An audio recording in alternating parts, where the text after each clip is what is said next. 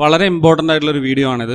മുഴുവനായിട്ട് കണ്ട് കാര്യങ്ങൾ മനസ്സിലാക്കുക. കേരള ഹൈക്കോടതിയിൽ എൺപത്തി മൂവായിരം രൂപ വരെ ശമ്പളം വാങ്ങാവുന്ന സ്ഥിര നിയമനത്തിന്റെ വിവരങ്ങളാണ് നമ്മൾ ഈ വീഡിയോയിൽ പരിശോധിക്കുന്നത്. അപ്പോൾ എല്ലാവർക്കും സംസ്കൃതിയുടെ പുതിയൊരു വീഡിയോയിലേക്ക് സ്വാഗതം. തുടർന്നും ഇതുപോലുള്ള വീഡിയോ നിങ്ങൾക്ക് ലഭിക്കാൻ ചാനൽ സബ്സ്ക്രൈബ് ചെയ്ത് ബെല്ലൈക്കൻ എനാബിൾ ചെയ്യുക. വീഡിയോ ഇഷ്ടപ്പെട്ടാൽ ലൈക്ക് ചെയ്യുക. നിങ്ങളുടെ സുഹൃത്തുക്കളിലേക്ക് ഷെയർ ചെയ്യുക. റിക്രൂട്ട്മെന്റ് നമ്പർ ഒന്ന് രണ്ടായിരത്തി ഇരുപത്തി ഒന്ന് പോസ്റ്റിന്റെ പേര് അസിസ്റ്റന്റ് ശമ്പളം എന്ന് പറയുന്നത് മുപ്പത്തൊമ്പതിനായിരത്തി മുന്നൂറ് മുതൽ എൺപത്തി മൂവായിരം രൂപ വരെ. ഇപ്പോൾ റിപ്പോർട്ട് ചെയ്തിരിക്കുന്നത് അൻപത്തഞ്ച് ഒഴിവുകളാണ്. നിയമന രീതി എന്ന് പറയുന്ന നേരിട്ടുള്ള നിയമനമാണ്. പ്രായപരിധി ആയിരത്തി തൊള്ളായിരത്തി അൻപത്തി അഞ്ചിനും രണ്ടായിരത്തി മൂന്നിനും ഇടയിൽ ജനിച്ചവരായിരിക്കണം. ഒ ബി സി ആയിരത്തി തൊള്ളായിരത്തി എൺപത്തിരണ്ടിനും രണ്ടായിരത്തി മൂന്നിനും ഇടയിൽ ജനിച്ചവരായിരിക്കണം. എസ് സി എസ് ടി ആയിരത്തി തൊള്ളായിരത്തി എൺപതിനും രണ്ടായിരത്തി മൂന്നിനും ഇടയിൽ ജനിച്ചവരായിരിക്കണം. Ex serviceman P W D തുടങ്ങിയവർക്കൊക്കെ തന്നെ ഏജ് റിലാക്സേഷൻ ലഭിക്കുന്നുണ്ട്. എന്തൊക്കെയായാലും അപ്പർ ഏജ് ലിമിറ്റ് എന്ന് പറയുന്നത് അൻപത് വയസ്സാണ്. ഈ ഒഴിവിലേക്ക് അപേക്ഷിക്കാനുള്ള യോഗ്യത അൻപത് ശതമാനത്തിൽ കുറയാതെയുള്ള ബാച്ചിലേഴ്സ് ഡിഗ്രിയാണ് അതായത്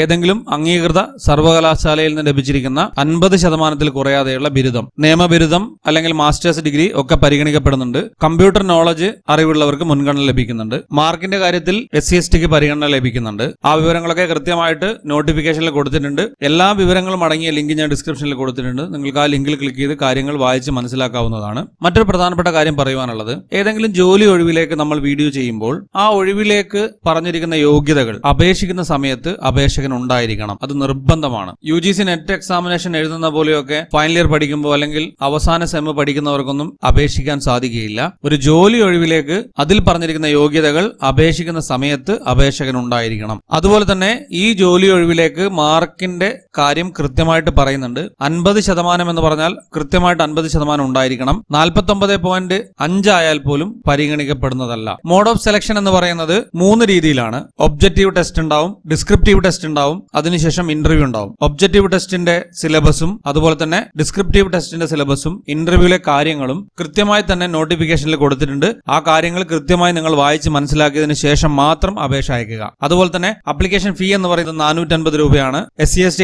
അതിലും പരിഗണന ലഭിക്കുന്നുണ്ട്. ആ കാര്യവും നോട്ടിഫിക്കേഷനിൽ കൊടുത്തിട്ടുണ്ട്. അതുപോലെ തന്നെ പി ഡബ്ല്യു ഡി കാൻഡിഡേറ്റ്സിനും പരിഗണന ലഭിക്കുന്നുണ്ട്. ആ കാര്യവും നോട്ടിഫിക്കേഷനിൽ കൃത്യമായിട്ട് കൊടുത്തിട്ടുണ്ട്. നോട്ടിഫിക്കേഷൻ നിങ്ങൾ കൃത്യമായിട്ട് വായിച്ച് മനസ്സിലാക്കുക. ലിങ്ക് ഞാൻ ഡിസ്ക്രിപ്ഷനിൽ കൊടുത്തിട്ടുണ്ട്. ആ ലിങ്കിൽ ക്ലിക്ക് ചെയ്യുക. നോട്ടിഫിക്കേഷനിൽ പറഞ്ഞിരിക്കുന്ന കാര്യങ്ങൾ വായിച്ച് മനസ്സിലാക്കുക. ഫോട്ടോഗ്രാഫ് അപ്ലോഡ് ചെയ്യുന്നതും അതുപോലെ സിഗ്നേച്ചർ അപ്ലോഡ് ചെയ്യുന്നതും ബന്ധപ്പെട്ട കാര്യങ്ങളൊക്കെ തന്നെ നോട്ടിഫിക്കേഷനിൽ കൊടുത്തിട്ടുണ്ട്. ഒരിക്കൽ കൂടെ പറയാം നോട്ടിഫിക്കേഷൻ കൃത്യമായി വായിച്ച് മനസ്സിലാക്കാതെ അപേക്ഷ അയക്കരുത്. ഇനി നമുക്ക് എങ്ങനെയാണ് ഇതിന്റെ വിവരങ്ങൾ കൃത്യമായിട്ട് നിങ്ങൾക്ക് ലഭിക്കുക എന്ന് പരിശോധിക്കാം. ഡിസ്ക്രിപ്ഷനിൽ കൊടുത്ത ലിങ്കിൽ ക്ലിക്ക് ചെയ്യുക. അപ്പോൾ നിങ്ങൾക്ക് ഹൈക്കോർട്ട് ഓഫ് കേരളയുടെ റിക്രൂട്ട്മെന്റ് സെക്ഷനിൽ എത്തുവാൻ സാധിക്കും. അപ്പോൾ അവിടെ direct recruitment to the post of assistant എന്നുള്ള ഭാഗത്ത് ക്ലിക്ക് ചെയ്യുക. അവിടെ ക്ലിക്ക് ചെയ്ത് കഴിഞ്ഞാൽ അപ്പൊ തന്നെ നിങ്ങൾക്ക് നോട്ടിഫിക്കേഷന്റെ പി ലഭിക്കും. ആ കാര്യങ്ങൾ കൃത്യമായി വായിച്ച് മനസ്സിലാക്കുക. എന്നതിന് ശേഷം ഹൗ ടു അപ്ലൈ എന്നുള്ള ഭാഗത്ത് ക്ലിക്ക് ചെയ്യുക. അവിടെ നിങ്ങൾക്ക് കൃത്യമായിട്ട് കാര്യങ്ങൾ വായിച്ച് മനസ്സിലാക്കാൻ സാധിക്കും. അവിടെ നിങ്ങൾക്ക് പി ലഭിക്കും. ഈ ഒരു ഒഴിവിലേക്ക് നിങ്ങൾക്ക് അപേക്ഷിക്കാൻ സാധിക്കുന്നത് ജൂലൈ എട്ടാം തീയതിയാണ്. ജൂലൈ എട്ടാം തീയതി നിങ്ങൾക്ക് സ്റ്റെപ്പ് വൺ കംപ്ലീറ്റ് ചെയ്യാൻ സാധിക്കും. അതിനുശേഷം സ്റ്റെപ്പ് ടു കംപ്ലീറ്റ് ചെയ്യുക. തുടർന്ന് വരുന്ന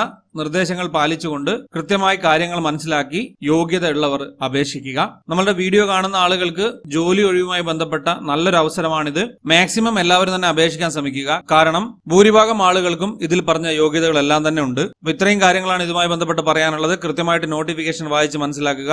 ഇതുപോലെ നിങ്ങൾക്ക് ഉപകാരപ്രദമായ മറ്റൊരു വിഷയവുമായി നമുക്ക് അടുത്ത വീഡിയോയിൽ കാണാം. Thank for watching keep studying stay safe